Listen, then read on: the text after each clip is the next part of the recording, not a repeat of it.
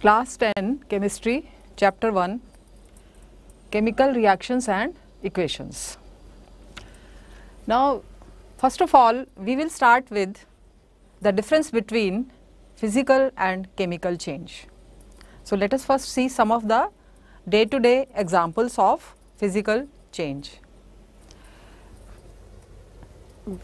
If you take a paper and tear it into two pieces from here, it form two pieces.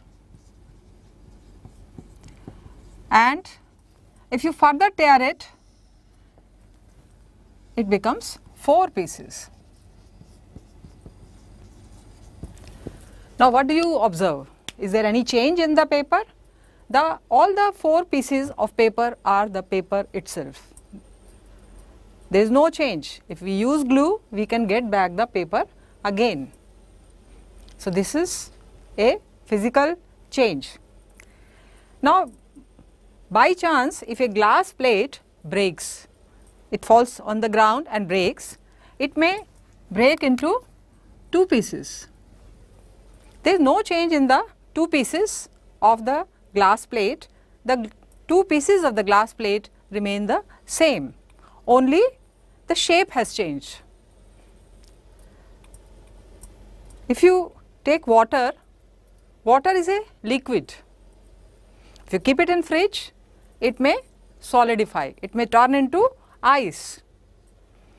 Water is a liquid, ice is a solid, but it is water only. If ice is melted, it will change into water.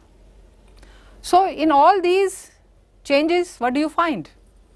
That the substance has not changed, substance remains the same, only the shape has changed or the physical state had changed as in this particular case. The liquid has changed into solid, otherwise a new substance has not been formed. So, these are all the examples of physical change. So, now we can define physical change. Physical change is a temporary change in which only size, shape or physical state of the substance changes. No new substance is formed. It can be reversed back also by changing the physical conditions. We can in the case of glass plate also we can use the glue to paste the two pieces of the glass plate. And same way here also the change can be reversed back, ice can be converted back to water. Now, let us discuss some more changes related to everyday life. If milk is taken out of refrigerator and kept at room temperature in summers, the whole day the milk is kept outside, what will happen? What do you find? You will find that the milk has curdled. The state has changed, physical state has changed and a new substance has been formed. Same way, if you take some iron nails from the market, you buy it, you will find them very shiny. And if you keep these iron nails in the humid atmosphere or moist atmosphere, what does it mean? Atmosphere having water vapors. After some times, some days, you may find that some brown colored substance has deposited on the iron nails. I think you know it. What is this uh, brown colored substance? It is iron rust. Iron nail has rusted. Some new substance has been formed on the surface of the iron nail. All of you breathe, that is a very common uh, practice Without breathing we cannot survive. Now during breathing you know oxygen is taken in and carbon dioxide is given out. A change has occurred, a new substance has been formed and in this particular case of course energy is liberated. So all these changes cannot be reversed back. We cannot get milk from curdled. Milk we cannot get it back. It cannot be reversed back by changing any of the conditions, physical conditions. Also this iron rust cannot be converted back to iron and also carbon dioxide cannot be converted back to oxygen just by changing the physical conditions like temperature, like pressure. We cannot change, we cannot get back oxygen again. So, all these are the examples of chemical change and now we can define what is a chemical change. Chemical change is a permanent change in which the physical state as well as the chemical composition of the substance changes, even the color may change. It cannot be reversed back by changing the physical conditions like temperature or pressure. Also heat may either be evolved or absorbed. Chemical reaction. Let us discuss certain activity to be performed in the chemistry lab. Let us take first of all magnesium ribbon which is grey in color. Now magnesium is very reactive, it reacts with the air and combines with the oxygen and carbon dioxide present in air and forms magnesium hydroxide and magnesium carbonate. So it has to be rubbed off. So this magnesium ribbon first of all should be rubbed with sandpaper to remove these compounds and after rubbing hold it with the help of a tong and bring it near the flame to burn it.